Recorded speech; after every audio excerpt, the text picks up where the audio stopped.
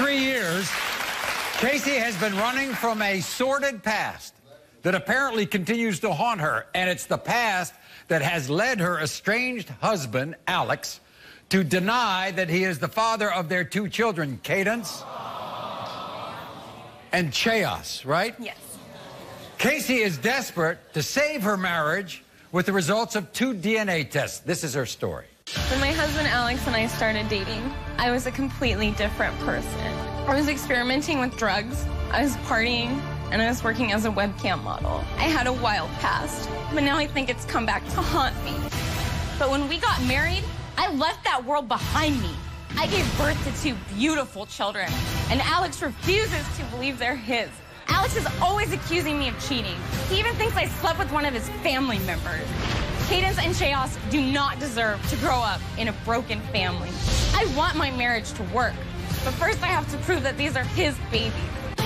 I'm just worried that Alex is using this as an excuse because he doesn't want to be with me anymore.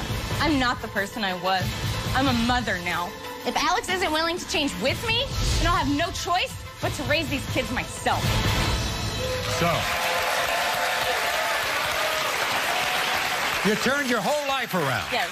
You said as, as soon as you got pregnant, that was That's it. it. I don't drink, I don't do drugs, I don't party. I stay at home with my kids like a good mom should. But Alex thinks you still mess around. He thinks that I'm still that girl I used to be. They look like him? Uh, Look at Chaos. Look at. Cadence looks like me. But you see my chin? She doesn't have my chin. She has his chin. And Chaos, his nose, his ears, his eyes. That's his son. And he doesn't see that? He doesn't see that. Is he are the uh, is he in these child uh, children's lives or He not? was up until three weeks ago. I Well, what happened it. three weeks ago? I couldn't take it anymore. He was calling me a whore. He was telling me I was sleeping with everyone in our apartment complex. I called my mom on the phone bawling. I said, Mom, you gotta come get me. I can't do this anymore. So my mom came all the way from Missouri, picked me up, and took me and the kids away. But you love him. I do love him. Why would you love somebody who doesn't care about you or your kids? I, don't want get him that. to care. I, want my, I want my family to be together. You together. think if I read the right result, he's going to care? I hope so. I grew up in a family, we were all together all the time. We did everything together. That's the family I want for my kids. That's the family my kids deserve.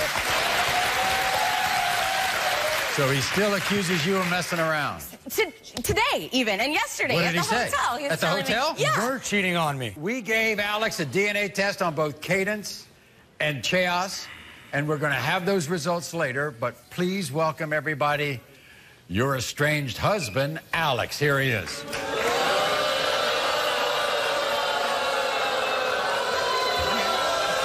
Good to see you, Alex. How you doing? Welcome. Why, why don't you believe that she's changed her life? Uh, she's been telling me lies this whole time. She's uh, Like what?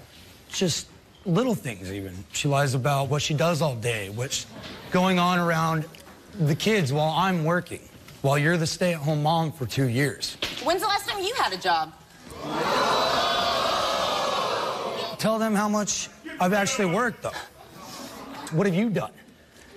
I took our kids What to a safe done? place. They're not homeless anymore. I have a job. I work 60 hours a week on my feet. Government assistant.